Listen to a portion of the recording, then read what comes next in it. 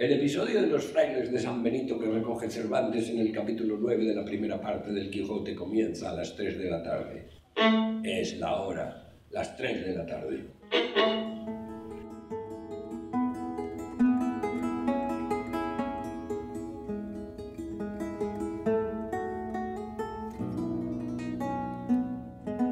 No te preocupes, que los eruditos ya están buscando esas crónicas.